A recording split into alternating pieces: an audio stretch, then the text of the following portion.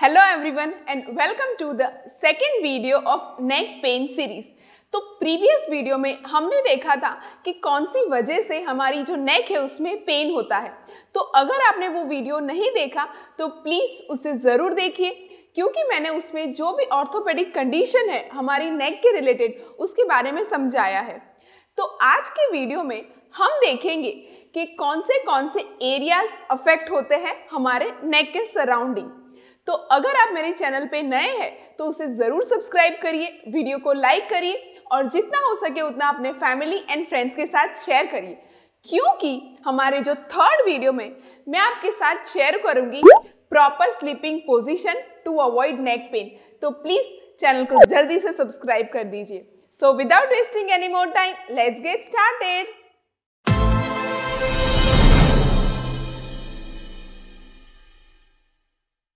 neck pain में ये ज़रूरी नहीं है कि सिर्फ़ हमारी नेक अफेक्ट हो।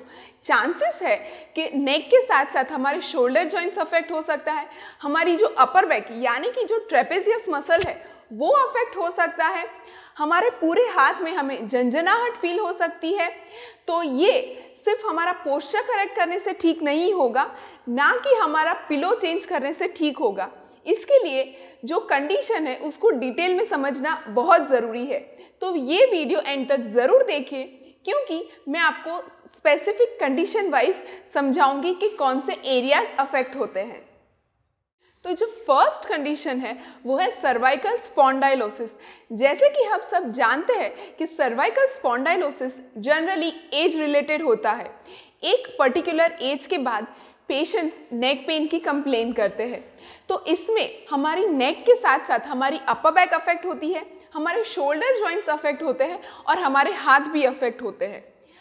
पेशेंट्स नेक स्टिफनेस की कंप्लेन करते हैं, हाथों में वीकनेस की कंप्लेन करते हैं और कभी कभी उन हाथ में नमनेस जैसा भी फील होता है। जो सेकेंड रीज़न है, वो है cervical radiculopathy cervical radiculopathy generally तीन कंडीशन की वजह से होता है।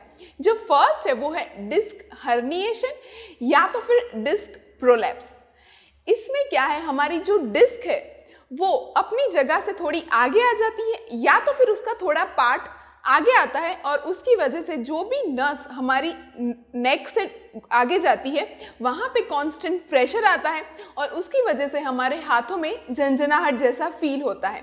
जो सेकेंड कंडीशन है, वो है disc degenerative changes degenerative changes में हमारी जो स्पाइन है उसकी मार्जिन्स थोड़ी रफ हो जाती है।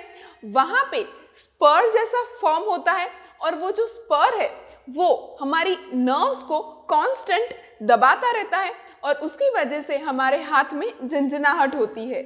और जो थर्ड रीज़न है, वो है नेक इंजरी अगर आपको नेक में कोई इंजरी हुई है तो चांसेस है उसकी वजह से भी आपको हाथ में झंझनाहट हो सकती है।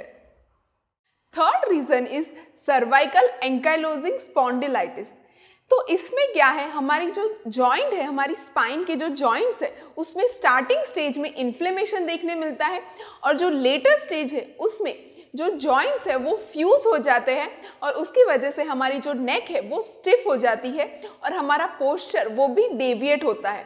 तो एंकाइलोजिंग स्पॉन्डिलाइटिस में जनरली हमारी स्पाइन ही अफेक्ट होती है इसकी वजह से हमें फटीग यानी थकान जैसा फील होता है। हमारा पोस्चर है, वो चेंज हो जाता है और हमारे नेक में ही हमें पेन होता है। Fourth and last reason is trapezitis trapezitis का मतलब हमारा ये जो ट्रेपेजियस मसल है, उसमें अगर स्वेलिंग हो या तो फिर हमें स्पाजम जैसा फील हो स्पाजम का मतलब यहाँ पे अगर आप पालपेट करें तो थोड़ा आपको हार्डनेस जैसा फील होगा। तो उसे स्पाजम कहते हैं। अगर वो हो तो चांसेस है कि उसकी वजह से भी जो नर्व्स हमारी नेक से जाती है, उसमें थोड़ा दबाव आ सकता है और उसकी वजह से हमारी नेक में पेन हो सकता है। तो जनरली ट्रेपेजाइटिस ओवर एक्सरसाइजेस की वजह से हो सकता है, या तो फिर इनएक्टिविटी की वजह से हो सकता है, या तो फिर आप लैपटॉप के सामने ज़्यादा टाइम तक बैठे हैं और आपका जो पोस्चर है, वो गलत है तो उसकी वजह से हमारे मसल्स है उसमें स्पाजम डेवलप होता है और हमारी नेक हमारी अपर बैक एंड हमारे आर्म्स में हमें पेन होता है। नेक पेन की वजह से चांसेस है कि पेशेंट को हेडेक भी हो। हेडेक का जो मेन रीज़न है, वो हमारे जो नेक के सराउंडिंग मसल्स है स्पेशली हमारे बेस ऑफ़ द स्कल अगर वहाँ पे मसल्स टाइटनेस है तो उसकी वजह से पेशेंट को टेंशन फील होता है और वहाँ से पेशेंट का हेडेक स्टार्ट हो जाता है। और हेडेक के साथ साथ पेशेंट कभी कभी डिजीनेस की भी कंप्लेन करते हैं। डिजीनेस का मतलब चक्कर आना। तो वो भी अगर हमारा पोस्चर गलत है या तो फिर मसल टाइटनेस है तो भी हमें देखने मिलता है। आई होप आपको मेरा ये वीडियो पसंद आया हो तो प्लीज़ उसे ज़रूर लाइक करिए और जितना हो सके उतना अपने फैमिली एंड फ्रेंड्स के साथ शेयर करिए। And stay tuned for the next video thank you